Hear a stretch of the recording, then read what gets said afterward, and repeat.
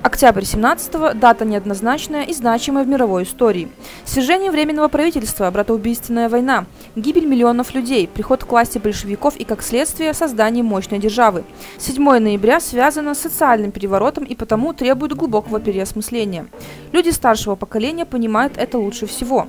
Для них Октябрьская революция – знаменательная веха в отечественной истории. Это значимое событие, тем более, тем более событие моего поколения. Мы жили Союзе Советских Социалистических Республик.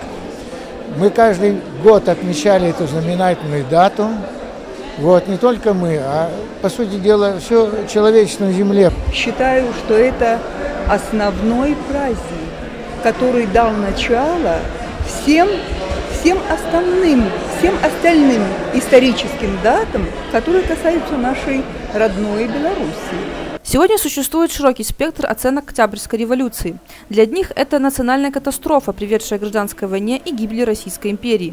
Для других – прогрессивное событие в истории человечества, позволившее ликвидировать феодальные пережитки. И в тех и в других взглядах есть своя правда. Для нашей страны социалистический переворот имеет свое особенное значение. Октябрьская революция принесла не только свободу всему трудовому народу, но и для нас, белорусов, что самое главное – она принесла государственность. Многие подходы строительства общества, которые применял Советский Союз, были приняты в той же Швеции, шведский социализм, который мы прекрасно знаем, 8-часовой рабочий день, за что совершалась революция, свобода слова и печати и многие другие вещи.